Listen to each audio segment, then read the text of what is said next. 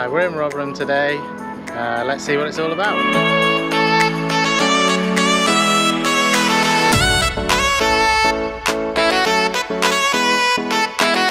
If you're tired of queues at places like Disneyland, then Rotherham is the perfect destination for you. It has its very own theme park and the queues aren't too bad. Its attractions include a roller coaster, bumper cars and crazy golf.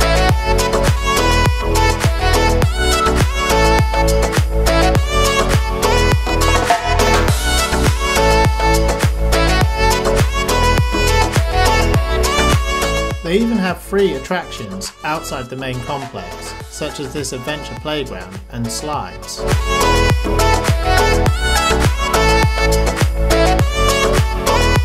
If you're feeling peckish, why not pay a visit to the Food Shack, where you can tuck into burgers, hot dogs and chips. If you have room for dessert, try out their fantastic donuts. Other options include their traditional ice cream van.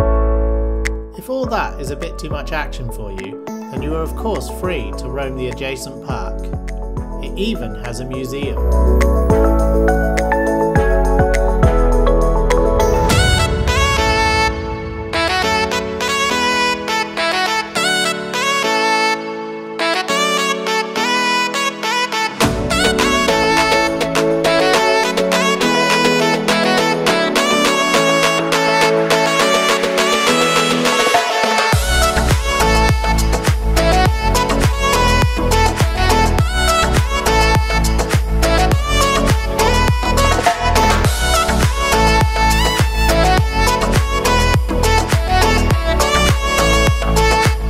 Rotherham has got some lovely old buildings, including the Minster, this tattoo parlour, and the old bank buildings.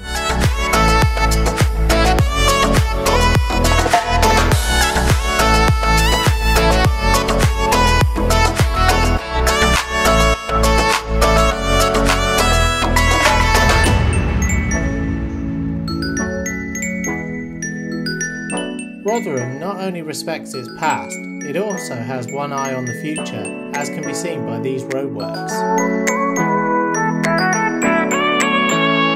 If you fancy a go at ecotourism, why not offset the cost of your trip by bringing along your old PlayStation and trading it in for cash at this convenience store.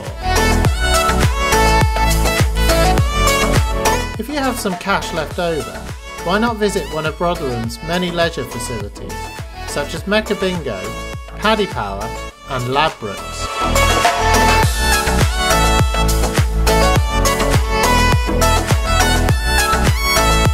When you're in Rotherham, why not visit one of its many local pubs? Nearly every pub in Rotherham offers both Sky Sports and BT Sport, so you won't miss out on the big game.